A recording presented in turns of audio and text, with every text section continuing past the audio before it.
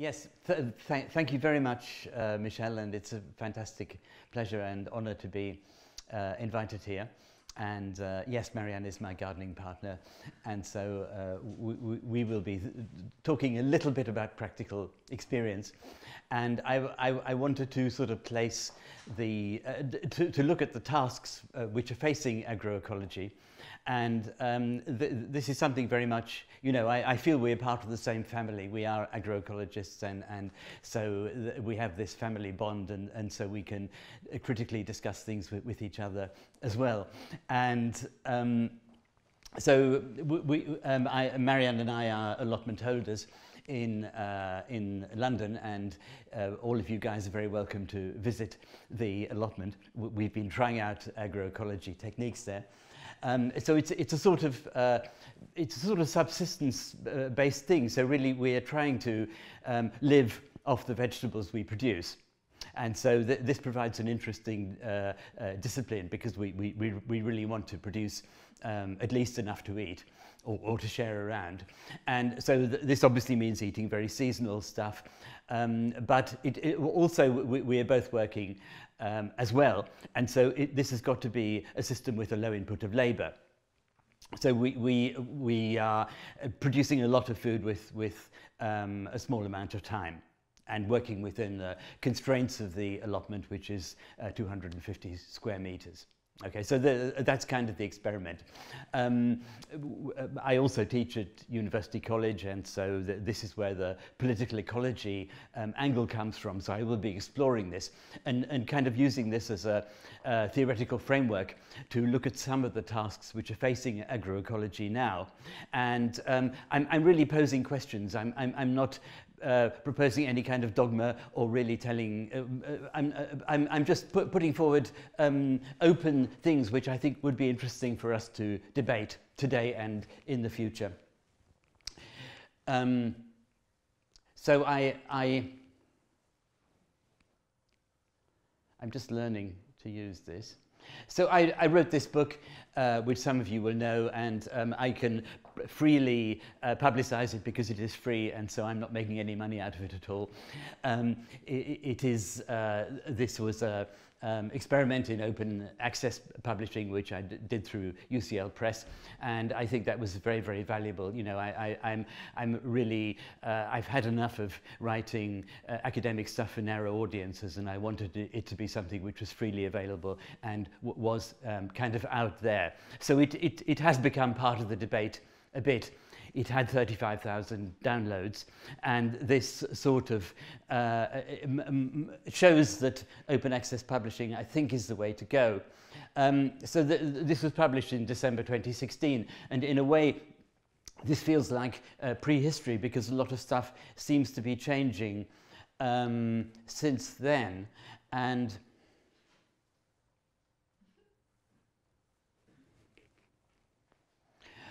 what, what I'm interested in is, is the new stage and, and, and to look at the kind of context.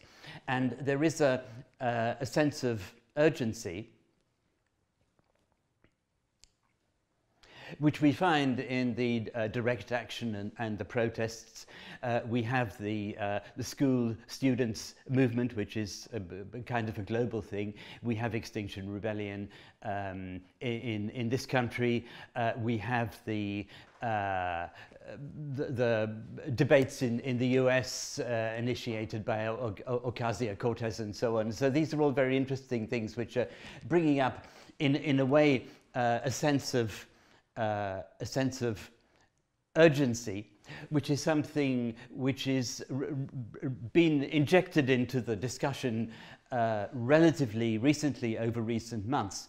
And so this provides a context in, for us to reflect on what our tasks are. And this notion of system change, uh, not, not climate change, I mean, it's been, it's been usurped by socialist workers there, but, but it's something which has been around for quite a long time uh, as an idea. But uh, I think people are beginning to think about it in a more uh, practical terms. So the, the, the, this kind of invites us to think what we can contribute. Um, it implies a philosophy which spans uh, all of our systems, and it would be a philosophy which looks at um, uh, embracing complexity and having systems which are adaptive and resilient in the sense that they can absorb shocks to make themselves stronger and so on. So I think if we talk about system change at, instead of climate change, then it's that kind of approach to systems that we want to talk about. Uh, we're learning from natural systems and we are using these lessons from natural systems, which are uh, intrinsically adaptive, um, uh, to, to apply them to our, uh, our systems, which could be political, they could be physical in terms of the built environment, uh, they, they could be any of those things. And this, this is a, so th th this is a big uh, paradigm shift and um, it's something which agroecology ought to engage with very strongly, you know, and ought to in fact be central, centrally placed within because agroecology is the interface between nature and society. And we, we're really well placed through our practical experiences through the interaction which we have with the natural world all the time. We're very well placed to understand this kind of biomimicry, these kind of, these kind of new ideas which we can uh, use as a, as a paradigm to um, feed into our, uh, all, of, all our other systems, our physical systems, our political systems, our social systems, and so on. Now, the, so this uh, pushes in the direction of holistic thinking, but at the moment uh, we are too fragmented.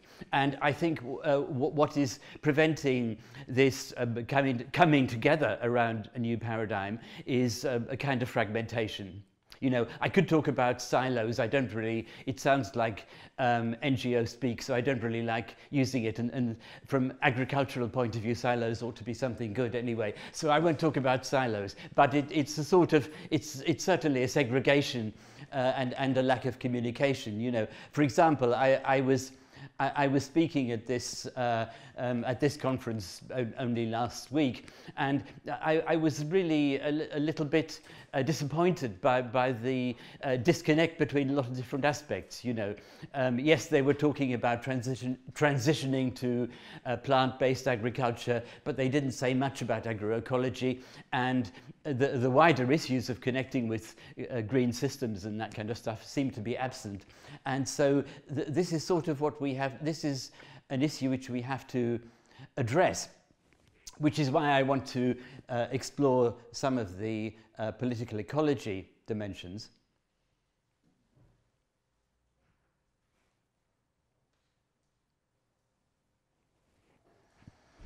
Um,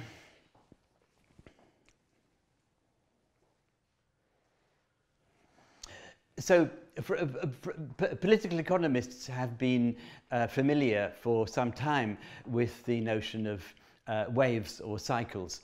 And um, if we're talking about, uh, you, you, know, the, the future, the question is what this cycle is going to be. So um, this is one model which was em employed by the Russian uh, economist uh, Kondratiev in, in the 1920s. Uh, and um, it looks at a, a kind of long-term uh, vision of the political economy. And it's, it's a sort of wave-like motion, which I think is something which can interest us as um, agroecologists, because it sort of fits in with the models of ecological change which we uh, employ. Uh, this is Holling's model, which you, you, you guys will be very familiar with, I think, and he draws it in a figure of eight kind of thing. But it, it has these four, uh, these four uh, phases, okay?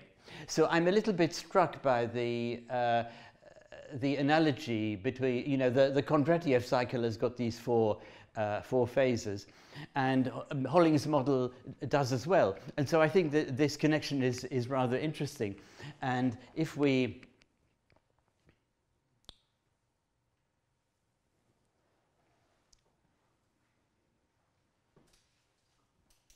if we stretch out Holling's model, so the, the, I've unpicked the figure of eight and I've laid it out along a line, so it, it's exactly the same thing. And so you, you've got these, these uh, four uh, phases. So uh, each kind of phase of the um, of, of, the system, it, you know, it, it goes through a process where it, it exploits what it's good at, it conserves what it has, and then it, it uh, moves into a kind of crisis phase or a rift where it transitions to a new, uh, a new kind of order. And so this is sort of, this has got, sort of got a ecological basis already, this uh, wave cycle pattern. But what, what, we have to do now is to look at this in the context of, of the crisis and the urgency and all of these kind of issues which are being addressed by the new, uh, the new kind of uh, framework today. So we have to solve this problem of climate change and species loss. And so we're talking about a transition to a kind of green uh, uh, cycle. So this idea is qu quite an interesting contribution and it makes a number of points here, particularly the fact that you have a succession of cycles, uh, they, they are more and more intensive in terms of um, innovation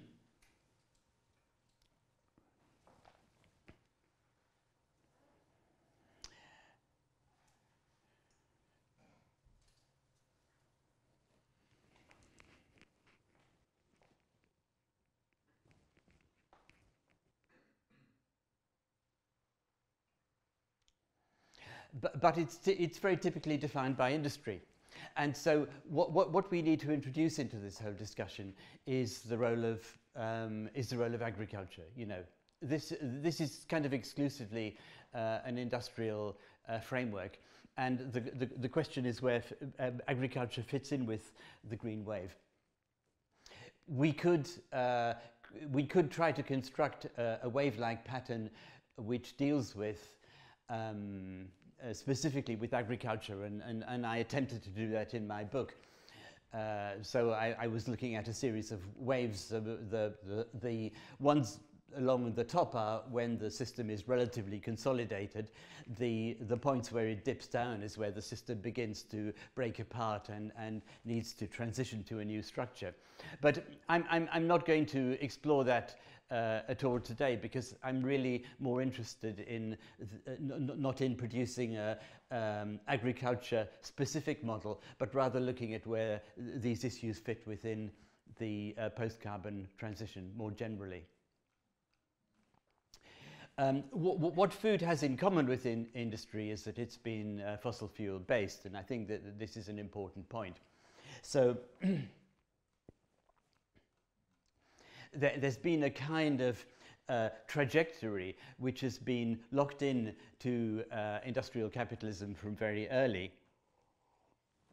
where the development is premised on, on fossil fuels. And th this is uh, true of industry, but it's also true of agriculture. And in a way, we can inject agriculture, I think, in a central position within this debate.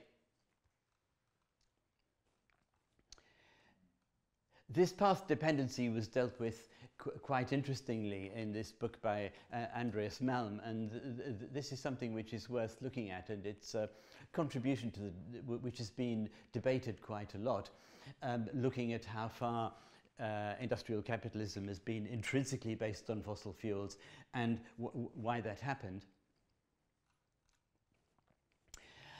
Um, one weakness in his argument is that it uh, focuses um, um, exclusively on industry and therefore uh, it, it, neglects what I would see as being the foundation of the whole thing. So in actual fact, we, we need to inject uh, the role of um, um agriculture and food uh, centrally within that discussion.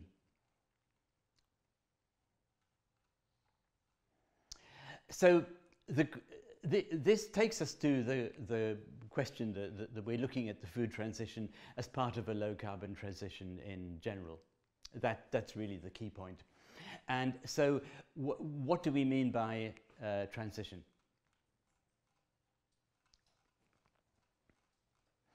So uh, uh, there's um, a couple of diagrams which I can use which um, come out of some of the literature on transitions. And the, um, the first one kind of looks at the overlapping between the different cycles because the, the, what, uh, what uh, the, the process um, of, uh, uh, of transition between the cycles is obviously one where the, uh, the conditions of the uh, new one overlap with, with the old one.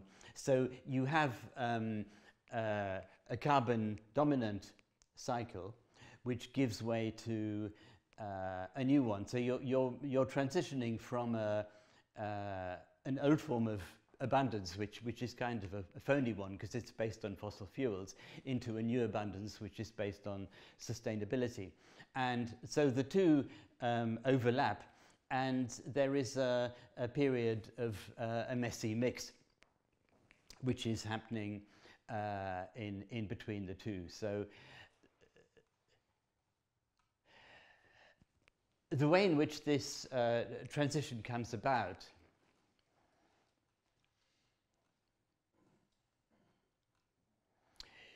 we can see in, in this model. So th this is kind of a, a, a way of um, enlarging it still further. So, so we're looking much more closely at the actual processes. So the um, overlapping between the two phases is one where the characteristics of the new one begin to emerge even while the old paradigm is still dominant. And so they emerge within uh, niches and they are kind of uh, contained within niches, uh, but there, a, a, threshold takes place where the niches then become the, the, the, new paradigm. So the new paradigm emerges in very small places and then it, it consolidates in, into uh, a, fundamental system change. So th this is one of the ways in which we can um, look at system change as a process So arguably, uh, this, has this literature dates from about 2007. So um, arguably, we've moved a bit faster, and that, that's an encouraging sign because I, I would say probably the messy mix is already uh, with us, uh, which is kind of a good thing because it shows that there is a mixture of um, hope and fear. There, there's a mix mixture of uh, um, depression and optimism, and there, there is a mixture of stubborn uh, remnants of the old paradigm and, and uh, elements of a new paradigm, which are still somewhat uh, isolated niches. You know, so th this may be the characteristic of where we are now. And so um, it's quite good if we are part of the messy mix now. Uh, the energy transition, for example, is moving uh, much more quickly than would have been uh, pr proposed a few years ago. So the, these are elements of transition which are happening very, very quickly now. And you can have a, a threshold where suddenly uh, renewable energy becomes cheaper than uh, fossil energy, and then the, the changeover can happen very quickly. So the renewable uh, technologies like LED lighting and, and uh, solar panels and that kind of stuff were very much small elements in, in, in niche markets which are, which are very expensive, but, but suddenly there's a tipping point where they become uh, much more accessible, much cheaper, and becomes a new paradigm, you know. And so we're actually in a process of conversion from this point of view, from the energy point of view, then, then I think you can see the messy mix very clearly. And, and the elements of the uh, qualitative leap into a new mode of organization are very much uh, visible around us. The question is whether food and agriculture is keeping pace with this. And this is a critical question which uh, we need to pose. You know, are we doing enough? Are, are we, uh, are we uh, really up with some of the more advanced uh, changes which are happening in other areas of the economy, or are we lagging behind?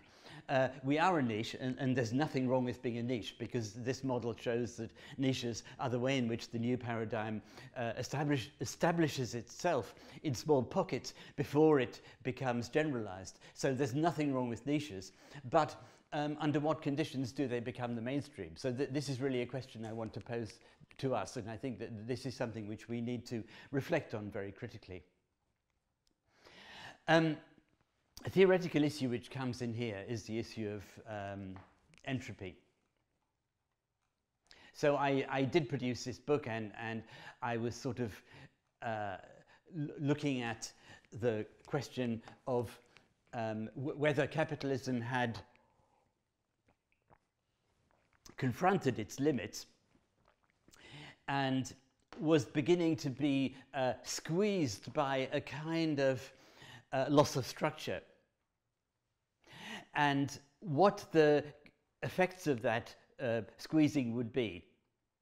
Um, they could be pushing in the direction of a green transformation. They could be pushing in the direction of something quite bad and reactionary, where the system uh, consolidates itself in uh, a bad way, in, in a kind of repressive way, by uh, ex exploiting some of the uh, more evil aspects of its past. And um, so uh, this, this was a sort of question which I was uh, debating in that book, but um, I, I, I, didn't really uh, apply it to, to, the food issue. And so I, I, wanted to just think a little bit about how we can look at the entropy question in relation to, um, in relation to food and agriculture. Um, just to go back a little bit to uh, looking at this um, argument by Andreas Malm, he does, um, he does address the entropy issue uh, in quite an interesting way. But what, what, what, he is trying to do is to, in a way, it's a, it's a, a analysis which places the critical emphasis very strongly against uh, against capitalism. And what he's saying is that fossil fuels were not an intrinsic part of capitalism. They were simply uh, introduced because they made labor easier to control. This is quite an interesting uh, idea, but the, as part of this argument, what he has to do is to, um, is to argue against the notion of entropy in a way because he, he's, he's critiquing a, a, sort of discourse which says that we have a sort of human uh, drive towards growth which hits against limits and that fossil fuels is a way to get around that. So uh, part of his argument is to uh, criticize the uh, theoretical basis of the um, notion of limits. And the uh, economists who he criticizes particularly are Malthus and, and uh, David Ricardo. So R Ricardo put forward the idea of diminishing returns. Uh, Malthus, as, as, we know, put forward the idea that population was rising and would hit against a finite food supply. So the, this is sort of the argument about limits. And Malm is saying, uh, no, this, uh, this whole argument is nonsense and therefore this uh, drive to growth doesn't really exist and it is not a, a, failing of humanity, it's a failing of capitalism. Capitalism brought in fossil fuels because it needed to exploit people.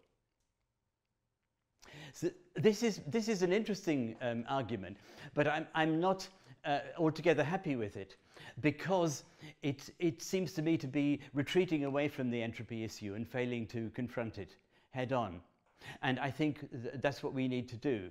We, we need to raise very clearly the idea, um, is there such a thing as diminishing returns in agriculture? And if so, how do we, how do we uh, hit back against, against that? How do we convincingly say that we can feed the planet? This is the question which we need to, to answer. And we, we shouldn't retreat away from that. Uh, we have to confront this in the right kind of way. This is really the most important thing that I wanted to throw into this debate. Um, so just to sort of look at this a little bit historically, this uh, debate is a very uh, um, interesting one, uh, which goes back to the mid uh, 19th century. So Henry Carey is a US economist who uh, attempted a very um, quite an exciting idea really, which is looking at um, uh, visioning futures. So what, what, what, what, what he's saying from the mid-19th century standpoint is, uh, what is the future economy going to be like? Uh, it's a visioning exercise, which would be interesting for us to pursue, you know, because we're talking now about system change. what do we think the future system is going to be? So he posed this question back in, in the mid-19th century, and he said, what, what, what kind of economy is likely to, to, to develop? Which direction are we going in? And the basis for this was food. Uh, he, because Carey's argument is very clear, we, we cannot vision any kind of future unless we deal with food supply. That's the bottom line. Anything else we can add on and say what we want, but we must convincingly um, answer the question of how this society is going to feed itself. So th this is the question which I'm really placing on the table, which we need to give a, a, a really, um, really good answer to. And, and we, we, we must not retreat away from that question. So he, uh, he attacked the same guys as Andreas Malm is attacking, but I think in a much more convincing way, because he, he, he, he based his, his argument on the issue of food. And he looked at very, very closely at land. And he said, what is the productivity of, of, of, land based on? How can we talk about the past development of this land? How can we pr project this into the future? um, how can we give a, a really a thorough answer to this? And so he, he, he goes into great detail as the foundation for his whole paradigm. Uh, he's a US economist, so he's looking at the United States, he's looking at the land there, and he's saying, can this land um, continue to reproduce itself without losing structure, without losing fertility, without being eroded, and continue to feed the population? So he answers this in, in a rather optimistic way and he says, yes, it can. Uh, so at least he is taking on these guys, uh, uh, Malthus and Ricardo, in a, in a meaningful way. And uh, uh, I, th this is something which um, then began to uh, be very closely related with the development of Marx's ideas. So Marx's uh, critical discussion of the work of Carey is a very, very important one. And th this is something which I would really like to explore more thoroughly. Um, Marx, Marx, of course, was critical of uh, Malthus, and uh, he, uh, Marx had a somewhat optimistic vision of the future of humanity, which was a socialistic economy and that kind of stuff. But uh, Marx understood very clearly that you, you could not make that uh, prediction unless you could say how you would feed this population. So he's saying, okay, um, so uh, you know, it, it, it, will be possible to do that. And then when uh, uh, Justus von, von, Liebig came along and looked at the question of the uh, chemical uh, demands of crops, then uh, Marx kind of was quite interested in that argument because uh, what, what uh, uh, uh, von Liebig was saying was that you could, you could, um, uh, you, you could overcome entropy by, by supplying chemicals to, to the plant. You know, so, so the, the, uh, the diminishing returns from land would not happen because you, you, would be, you would be replenishing the uh, chemical elements which they required later on, then uh, Justus von Liebig himself began to see that th this was uh, the wrong idea. And what you needed to do was to think of the structure of the soil. And you needed to um, replenish that in a natural way ra rather than an artificial way. So the, the chemical revolution, which he sort of opened up, he then shot down. And so uh, Marx sort of followed uh, uh, Justus von Liebig in doing that. And so the, the, the question is, how do we uh, again, convincingly say that without um, artificial chemical inputs, we are still able to replenish the soil. Okay, so one part of the argument is the metabolic argument, uh, which is uh, that the, the waste products become circulated back. So there, there we are restoring the natural cycle because the, uh, the waste products are uh, brought back into the picture. And this is a very important part of um, uh, it's something which uh, von Liebig understood it. It's something which Marx uh, based quite a lot of his thinking around, and uh, John Bellamy Foster's analysis of Marx's uh, work in which he um, brings these elements to the fore is very important. So th this is the element in, in favor of the circular economy.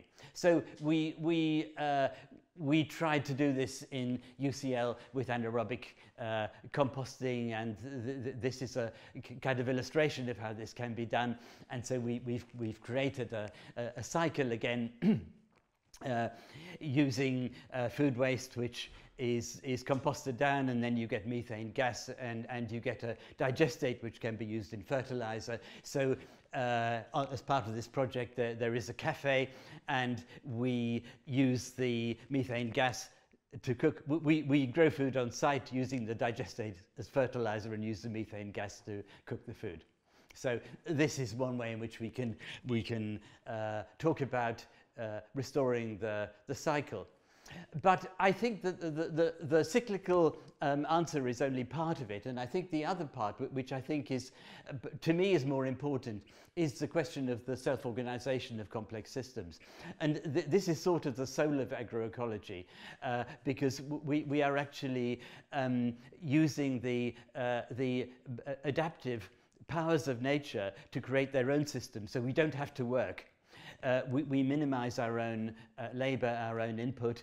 Uh, we allow, we kind of allow, uh, we, we relinquish control. You know, we, we don't want to control the variables too much. Uh, it, with a complex system, you cannot predict beyond a certain point. The whole thing which went wrong with conventional agriculture was trying to uh, narrow the parameters in order to make it um, predictable. What we're trying to do in agroecology is the opposite. We're embracing the unpredictability and, and the self-organizing uh, forces of complexity. And so what, what, what, Marx referred to as this kind of um, the free gift of nature's uh, power is uh, something which uh, ultimately I would see as something, this is even more important than the cyclical argument. It's really the na nature's gift is the free energy supplied by self-organizing systems. And so th this is kind of the approach which we try to explore in our uh, allotment where, where, we will sort of deliberately go away on holiday and, and leave it unattended.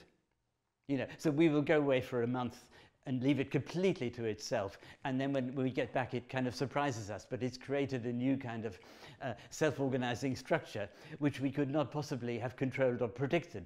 But it's actually much more strong and robust than anything which we could have, we could have uh, controlled there is still an, an, element of design. You know, we talk about permaculture des design, but it's not the designer as an om omnipotent control freak who uh, understands every variable and tries to uh, limit them and narrow them down. It's the opposite. It's a designer who is working with the, who is embracing the, uh, the, the principles of the new systems design and doing things in a completely different kind of way. Which is what um, which is what agroecology does, and where agroecology is better than simply organics, you know, because organics could be defined in a purely negative way of eliminating chemical inputs, and agroecology is, is a very positive definition that, uh, so I think it is the free energy of co uh, complex systems which is the ultimate answer to entropy, in other words, the answer to uh, erosion, the loss of soil and the loss of structure. Um, and this is sort of the solution in which we can give a, a really convincing and meaningful um, answer to these questions which were posed by uh, Ricardo and Malthus. Which, uh, which enables us also to insert agroecology within low carbon transitions, which is what we need to do. You know, we're talking about a benign feedback loop, uh, between carbon sequestration and uh, enhanced fertility. We're getting carbon into the soil, and the, the more soil we get in the carbon, the more plants grow, the more, uh, uh the, the more carbon in turn comes into it. We're sequestering carbon, the fertility is improving. So this, th this, is, this is the, the key idea which kind of inserts us centrally. I'm saying us as a family. It inserts us centrally within low carbon transitions. Th th this is what we need to do.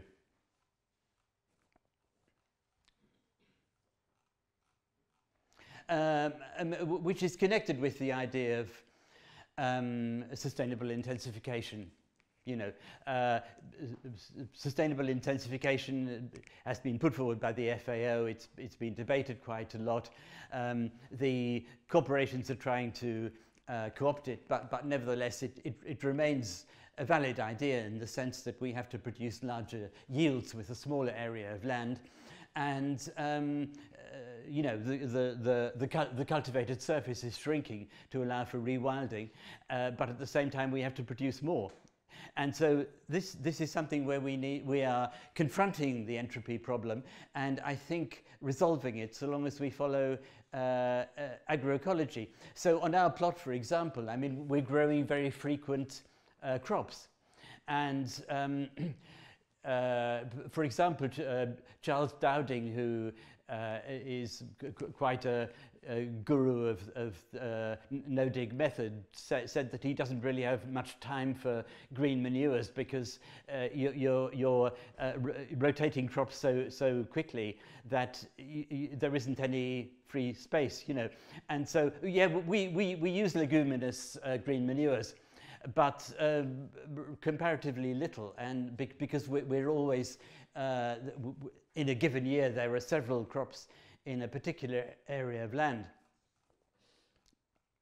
Um, compost is fundamental if we're replenishing the land. And I think this, this is the key um, issue in organic uh, farming in a way. I just wanted to look a little bit about the, some of the contradictions in relation to compost, which again are, are not often, uh, you know, I'm, I'm trying to ask the awkward questions which one very often retreats away from. So the Da Vinci Code of Organic Agriculture is um, this uh, secret uh, manuscript from the, the Knights Templars, which was discovered in a, in a Spanish priory. So the, the, this is a 12th century uh, ma manuscript, which, which was um, taken up by this guy, Daye, who is uh, a leading uh, authority on, on the Templars. And so he produced this paradigm for agriculture, which has been quite influential.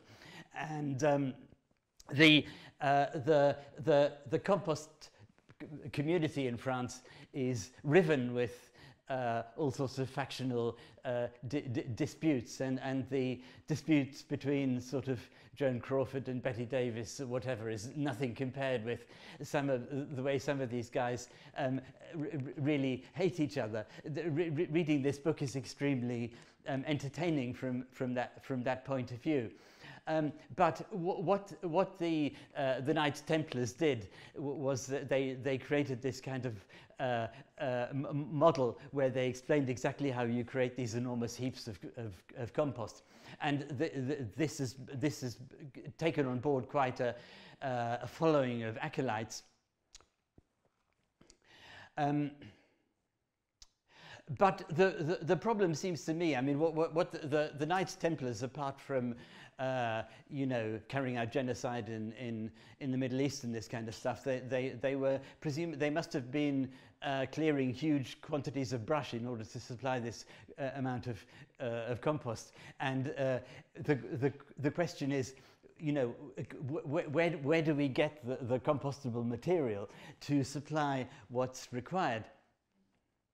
Um, so assume, uh, very typically in, in uh, organic farming manuals, they call for a 40 millimeter mulch. And if we, uh, you know, if, if you take a 250 square meter plot and, and multiply this out, it gives you uh, 10 cubic meters of, of compost which you need in a given year, which is quite a lot.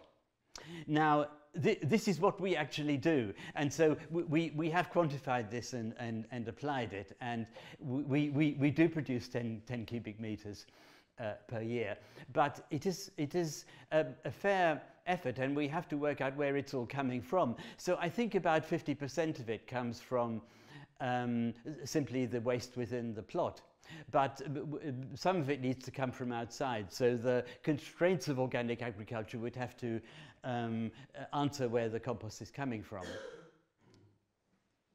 You know, which is a fundamental element in whether we can convincingly uh, deal with entropy. So what, what, what we do, what, what uh, there are different, you know, I mean, I think using uh, plants with very deep root like uh, Russian comfrey is one way in which we can uh, draw uh, nutrients from the lithosphere be, be below the soil and, and then feed this back into the system. So in that sense, the, the, the plot is not a, a, closed system.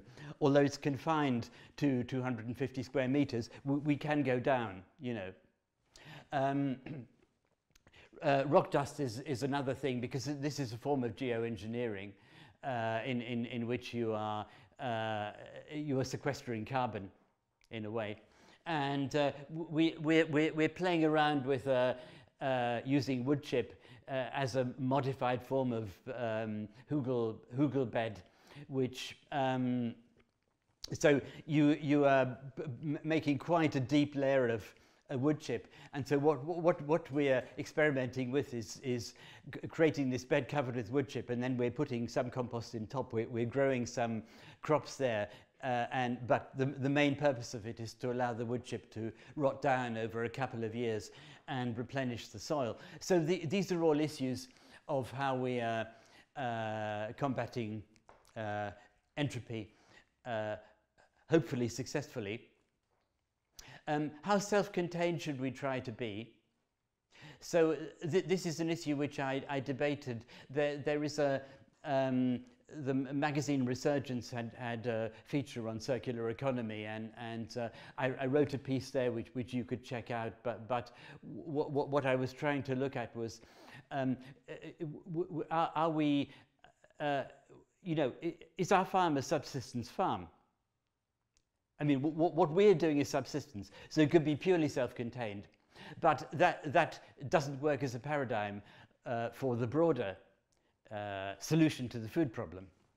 So you, you, you can, you know, the, the subsistence model could be a kind of survivalist model. So the, the, this is this one called Garden Pool, which you, some of you will have heard of this probably. It's in the, in the US, so it's in a, a kind of uh, hot and dry area of the US, and it's it's based around this. Um, this uh, disused swimming pool. But th this has become a model which the, the uh, people who invented this have been propagating this, this quite widely. Um, and it's, it's being used as a, uh, it, it, it's as a paradigm by NASA because it, it's obviously very closely related to what they're trying to explore in terms of planetary, uh, you know, establishing planetary colonies and that kind of stuff. But um, it's, it's, uh, it is kind of closed in and cut off. It's, it's, it's, it's a really a subsistence thing. And what, what we need to understand is how we can have a, um, a sustainable uh, agricultural system which at the same time is, is reaching out is, is supplying a surplus, is supplying uh, society in general. So is therefore more open. So this is one example which I'm sure uh, some of you will be familiar with. So the, the, this is in France and this is a, a, beautiful application of permaculture design principles with fantastically beautiful um, beds and uh, it, it's and the introduction of kind of drones to, to, to photograph these things now, it's, it's really, really beautiful. Um, but do we need to reach out if we're to become the mainstream? So the, this is the question. And I, am I'm, I'm wondering whether, you know, the, the, this, can a project like this act as, as the uh, module can we multiply projects like this as modules uh, to, to become the mainstream? You know, at the moment they are niches, they are isolated niches. Can we multiply them to become the mainstream? This is a question we need to look at. And I think this raises the question of whether we need to mechanize in some way. And the question is how? In order to increase the productivity, can we mechanize in a way which does not uh, in, inhibit the operation of the natural sustainable system? So th th these are all questions which we need to pose. And th this is a very uh, interesting uh, thing which led me to re reflect on this. Um, this uh, film by Z uh, Xavier Beauvois. Have any of you guys seen it? Okay, so the, the, the, this is really something you should do. You should organize a, a, a showing here, for sure. It's, it's, a, it's an amazingly good film, but it's also uh, incredibly educational. And I, I kind of, it's rather rare experience because I really enjoyed it at a, at a sort of very personal level. But at the same time, I, I, was, I was able to reflect on it politically and in terms of uh, what, what it, what it uh, tells you about agriculture. So it, it's focused in a very, very short period of time, which is uh, around, you know, the, uh, in, in World War One, uh, but it, it compresses a lot of historical changes. So the, what, what happens uh, um, at the beginning of the film? Yeah, so it's, it's about the women who kind of took over uh, farming and transformed it while the, while the guys were all out suffering PTSD in the trenches and this kind of stuff. Um, so um, at, at, the beginning, I mean, the, the, way this is portrayed in the film is that the, the, the, labor is incredibly harsh you know, because everybody's doing everything manually, they're harvesting manually and this kind of thing. But um, at the same time, it's cooperative because it needs to be. And so the, uh, uh it's, it's oppressive, it's, it's, it's horrible, but, but it's also uh, collaborative. And um, what, what, what, what happens is that uh, subsequently they um, they organize it more as a business and so they begin to invest in machinery um, and the producti producti productivity improves the uh, the backbreaking element of labor uh, is no longer there, but the so social solidarity is lost. Then everybody becomes exploitative and individualistic. And so we, we've lost uh, we've lost the social cohesion. So there is a so, sort of social entropy which takes over, and this is something which we ha have to, uh, which we need to address. So th this is what um, agroecology needs to do. Somehow, in a physical sense, we're, we're working with uh, the properties of self-organization in nature, and in the social sense, we're working with social self-organization. So, so we, we, we need to find a way of um, uh, uh, re, re, we, we need to find a way of increasing pro productivity which doesn't make it um, oppressively uh, uh, uh, Uh, uh, uh, you know, labor intensive. Um, and which doesn't sacrifice it, it, it, it, it mustn't sacrifice social sol solidarity, it must build social solidarity. So this is the, the question which we're faced with, which is the last kind of question I'm, I'm, I'm coming on to. So I'm, I'm just looking at this example. So this is um, uh, uh, L'Atelier Paysan in, in France. So this is a cooperative of uh, small uh, organic farmers.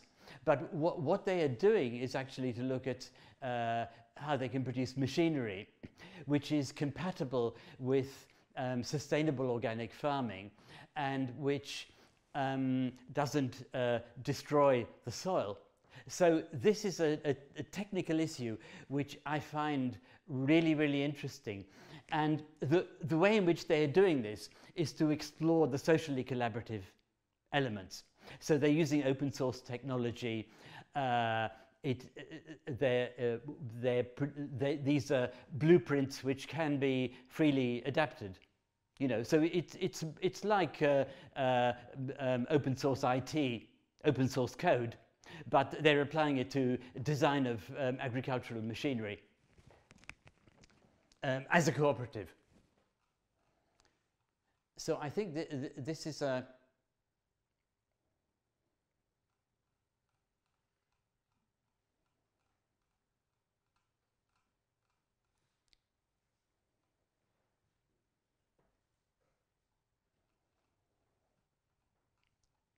this this is a um, a, a, a, paragraph.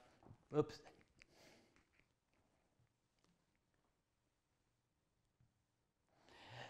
Um, uh, drawing out of uh, what, what the, the, way they explain their work, I, I, I, I find this uh, re really, really interesting. Um,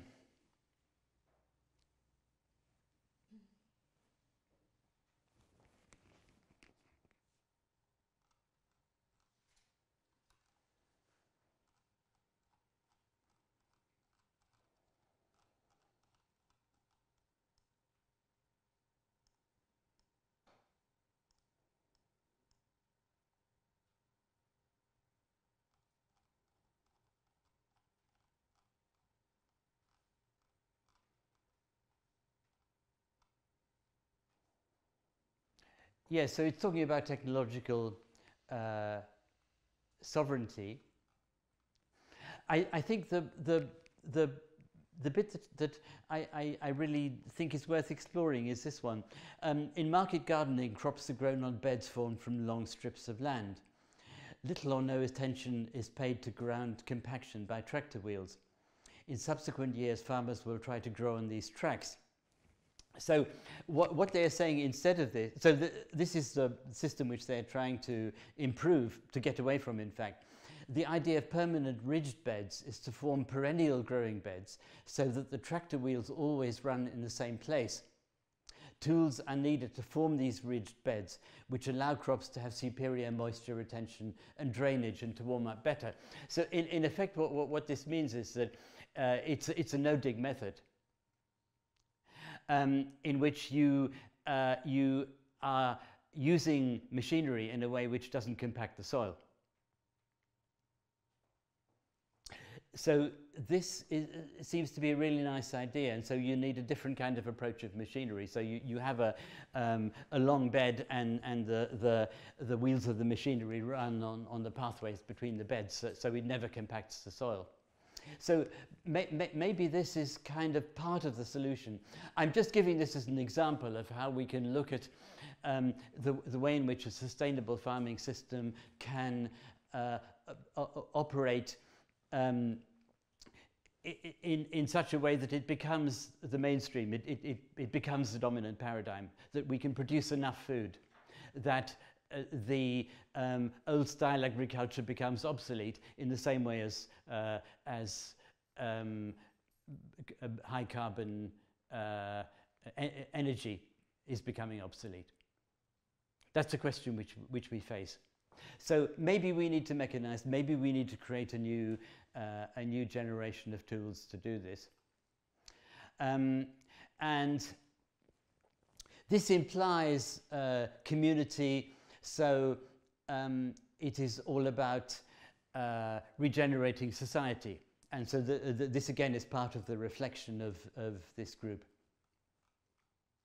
So this takes me to the conclusion. So we, we, we can minimize entropy through giving uh, full uh, scope to, to complexity, working with self-organizing systems, and, and this is something where we can have a kind of synergy between the, uh, the physical model of the cultivation and the social model. Okay, thank you.